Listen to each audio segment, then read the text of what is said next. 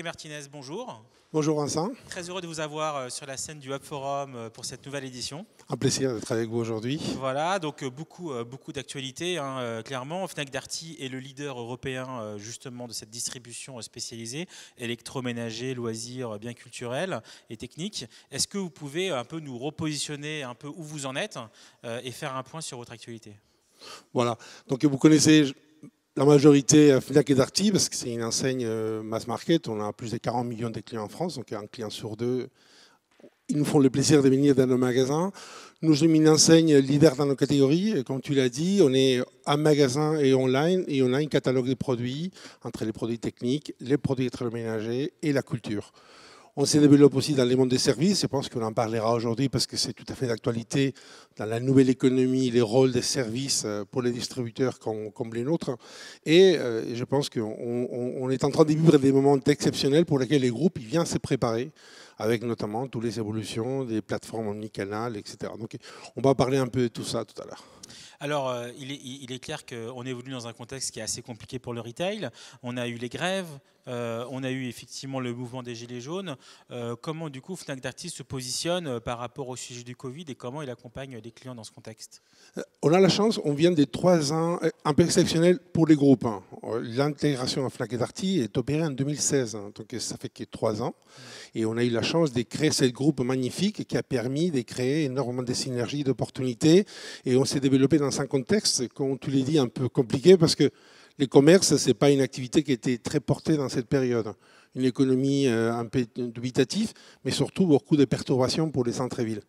Ça ne nous a pas empêché de nous développer et on a fait jusqu'à 2019 des années correctes dans la de nos plans stratégiques.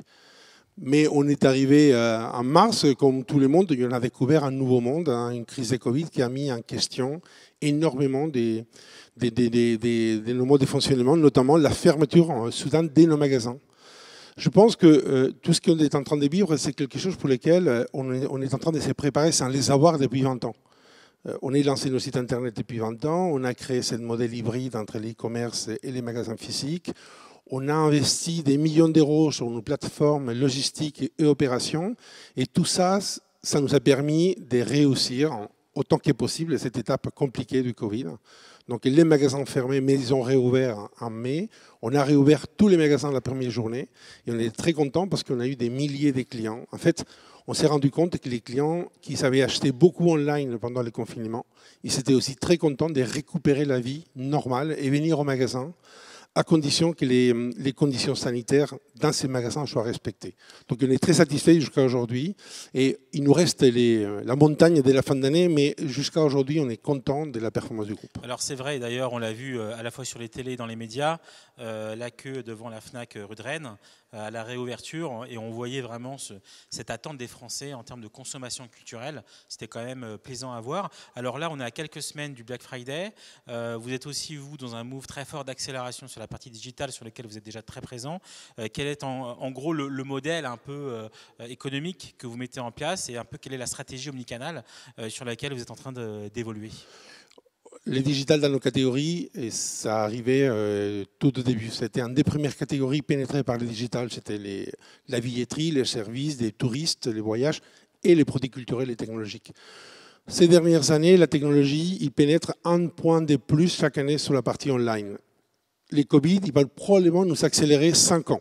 Donc les paris pour nous tous, c'est comment on est capable d'accélérer tout le projet qu'on avait prévu pour les prochains cinq ans et les rendre disponibles déjà en 2020.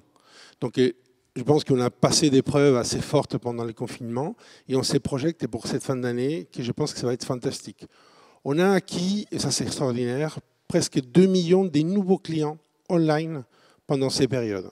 Et comme des chiffres qui ont sorti, vous avez probablement vu, Fnac et Darty ont été les vendeurs online, pas pure player, le multicanal, qui ont plus progressé pendant ces périodes. Et c'est forcément la bascule massive de nos clients magasins vers l'online et la conquête des nouveaux, des nouveaux clients qui l'ont permis.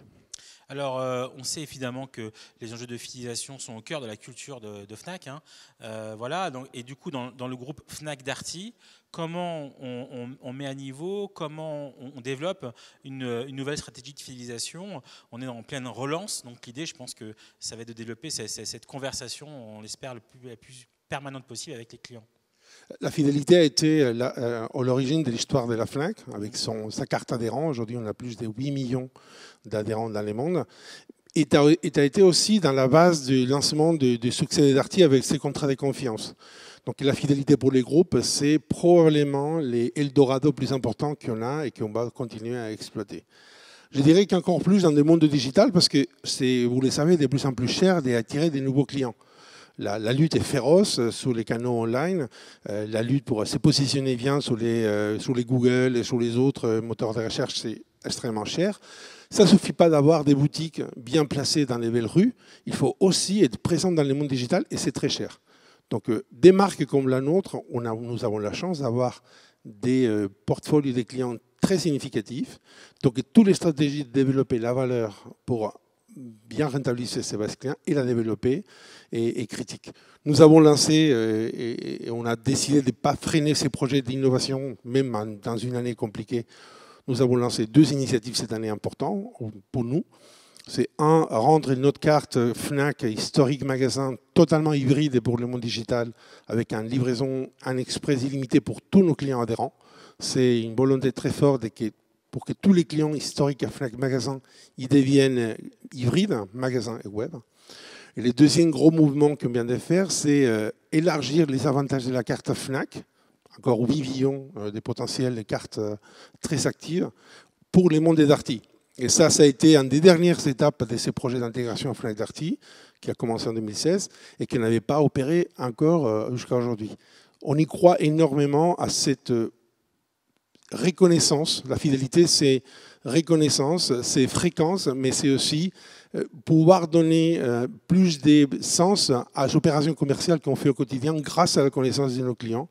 On est en train, comme je pense que la plupart des retailers, investir énormément sur la connaissance, sur l'utilisation de la data pour nous-mêmes, pour nos opérations, pour rendre nos opérations plus pertinentes et aussi plus profitables. Alors, euh, l'idée, Enrique, aujourd'hui, c'est aussi euh, d'échanger sur ce qu'au Hub Institute, on appelle la Next Economy, qui est en gros euh, la suite de la nouvelle économie à laquelle on associe tous les enjeux durables, sociaux et solidaires. et du coup, en fait, vous avez un rôle social très important en France et en Europe. et quels sont, en gros, vos engagements pour une consommation qu'on aimerait plus responsable, quelque part? Là, les groupes ont décidé de prendre les choses euh, par la main et, faire face à des, mythes qui existent dans notre industrie, de l'obsolescence programmée. Il y a une espèce d'arnaque totale des retailers qui veulent vendre des produits mauvais et qui tombent en panne trop vite. Nous sommes complètement à l'opposé de ça et les groupes il a investi des dizaines de millions d'euros pour créer une industrie de la réparation. Donc, c'est quoi l'essence pour nous? C'est notre obligation et les plus gros impact qu'on peut avoir dans l'écologie, dans, notre planète, c'est rendre la vie des, produits qu'on vend la plus longue possible.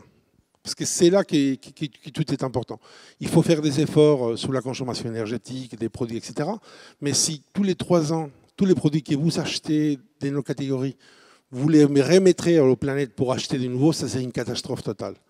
Donc euh, ça c'est axe important de travail pour nous, euh, travailler sur la durabilité, partager avec nos clients des vases de données, des centaines, des milliers, des réparations qui ont été faites pendant des années, pour donner une information très simple.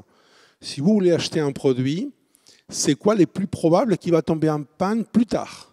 C'est une information. Ça correspond aux primaires, premiers critères d'achat des électroménagers aujourd'hui pour les consommateurs français. Et c'est des informations qui n'étaient pas disponibles. Donc c'était notre volonté de les rendre publics. On a publié il y a quelques semaines la troisième édition du baromètre de la réparabilité. Et c'est très innovateur, ça n'existait pas dans le monde. Ça nous a fait quelques bonnes discussions avec quelques, constructeurs mondiaux qui n'étaient pas bien placés. D'autres qui étaient bien placés euh, sont très contents. Mais dans tout, ça crée une dynamique et un engagement très fort pour, un, choisir des mieux à mieux nos produits, deux, faire en sorte qu'il y a plus de pièces détachées qui permettent de réparer plus tard et plus lentement. Et trois, et ça c'est notre obligation, avoir tout dans l'industrie de la réparabilité qui les rend possibles. On a plus de 2000 personnes qui travaillent qu'à ça dans nos équipes, et ça c'est un des plus forts engagements. Après, bien évidemment, il y a des sujets de la seconde vie, la, comment on peut récupérer les produits qui finalement ont été remis dans le marché, les réparer et les remettre à nouveau. Il y a le recyclage, on recycle plus de 50 000 tonnes euh, des, euh, euh, des, des, aciers, des matériels. Chaque année, on est les premiers recycleurs en France, donc on a une, toute une responsabilité pour la filière des réparations.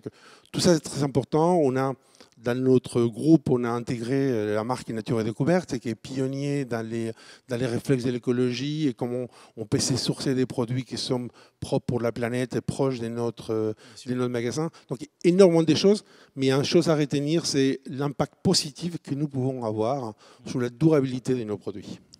Euh, pour conclure, il nous reste une petite minute, euh, tout ça doit aussi, à mon avis, euh, s'accompagner des talents en interne, puisqu'on voit les métiers ont évolué, les besoins clients ont évolué. Quelles, ont été un peu les, les, décisions et puis les accompagnements que vous avez voulu mettre en place pour accompagner du, coup cette transformation interne qui est liée du coup à la transformation du business tout simplement bon, Déjà, on a la chance d'avoir une équipe magnifique. Et ce n'est pas parce que je l'ai dit, c'est parce que je l'y crois vraiment. Deux, on est quand même un groupe qui a une taille par rapport aux des acteurs en France qui sont des vrais centres de décision un groupe important, donc on a beaucoup de facilités pour attirer des talents. Et ça, c'est hyper important parce qu'on a besoin des nouveaux talents. On a des enjeux énormes sur l'économie du digital, sur les data, etc. Donc on a besoin d'attirer des talents. Et après, forcément, il y a tout un travail d'accompagner les équipes de l'interne pour la nouvelle économie, pour le digital, pour faire que l'expérience du commerce physique et digital soit tout en réalité dans les quotidiens de nos équipes. Merci beaucoup, Enrique. On est très heureux de vous avoir avec nous sur la scène euh, du Hub Forum. Merci beaucoup. J'espère que la prochaine fois, on pourra avoir euh, aussi les personnes qui nous écoutent. Mais en tout cas, bravo pour votre initiative et, et merci à tous. À bientôt. À bientôt.